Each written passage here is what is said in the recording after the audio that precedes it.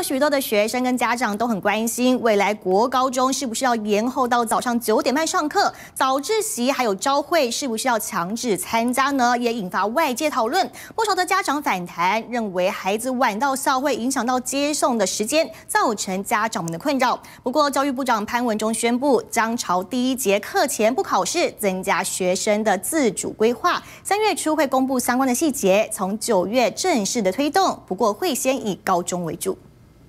学生匆匆忙忙到校上课，就怕慢一步不小心迟到。不过未来国高中生上课时间即将延后，预计九月正式上路。补习的时间大概都是三小时，五点多的话，那三小时就要到十点或十一点才能下有时候家长有可能没办法接送，很好。为什么？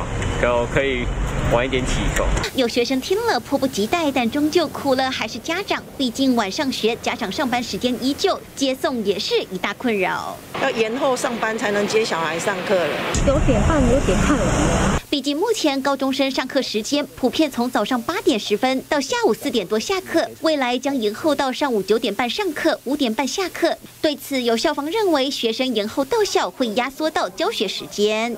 现在又强调说，一定要在孩子们学习过程中也要加本土语言，在塞了这么多东西状况之下，又要缩减这个学习时数哈，我觉得这好像是变成有点冲突。啊，在三月初正式的来公布，让学校啊有几个月的时间呢，来做作息的调整跟规划。对此，教育部指出，预计三月初公布细节，九月正式实施新政策即将上线，家长和学生看法两极。记者廖文斌、黄祥富、王柏英，台中云林采访报道。